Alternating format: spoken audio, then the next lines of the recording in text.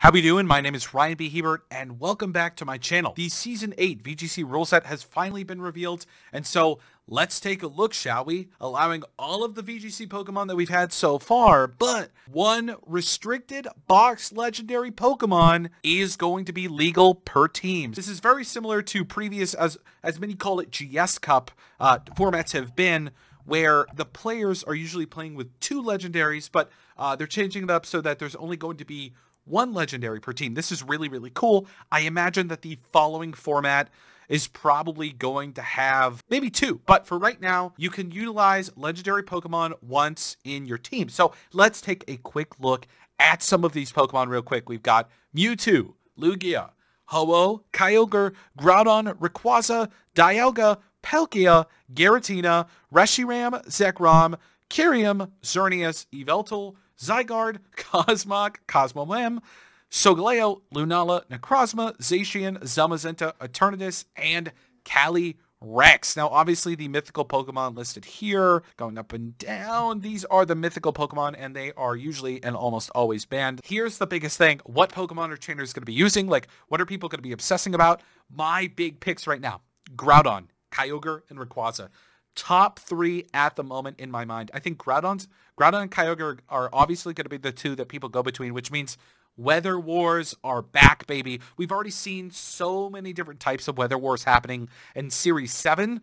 Imagine what it's going to now be like in Series 8. Now, there are a couple Pokemon I do want to mention that I think will probably also see play. The Calyrex uh, mixed forms with uh, both of the horses have some incredible attacks, so I'm curious if those are illegal, if they're going to be really good. Eternatus has a really unfortunate typing. Similar to Dragalge, the Poison Dragon type, it's it's good, but it's not that good. So, and it, it also cannot G max into its like uh, special Eternatus form. So that's that's really a, a bummer.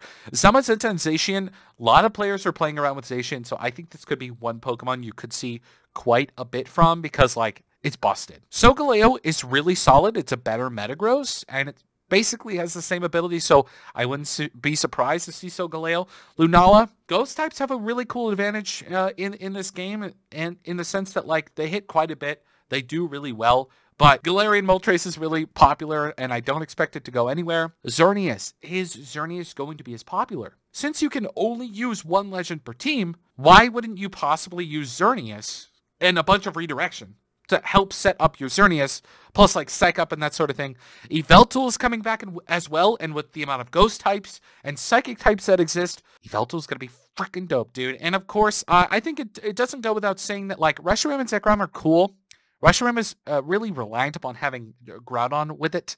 And then um, Palkia, I think, does really well with Kyogre. Same with Dialga. So uh, th- these Pokemon without another restricted, they kind of make it hard. Ho-Oh, Ho-Oh is seen to be really, really cool. However, like I said before, it does really well with a Weathermon like Groudon. And so I, am curious to see. I mean, people have made Ho-Oh Kyogre work, right? And so to run Ho-Oh without Kyogre, to have that like really offensive pressure, like that water spout, like Scarf Kyogre water spout is no laughing matter. But also you have to keep in mind that there's so many Pokemon that are super fast this generation. Uh, Regieleki. And so you have to keep in mind that like there are different Pokemon at different speed tiers that are changing up the way that these legendary Pokemon work and how they're going to play. Overall, this is a fantastic announcement and a big shout out to Serebii for getting out the news to everybody. Insane. What are your takes on Series 8? Are you excited to be using a legendary on your team? Let me know in the comments down below. If you like this video, be sure to leave a like on the video. And if you want to subscribe for more content, be sure to do so by pressing that red subscribe button right there on my channel. Thanks so much for tuning in today. Ryan B. Hebert signing out.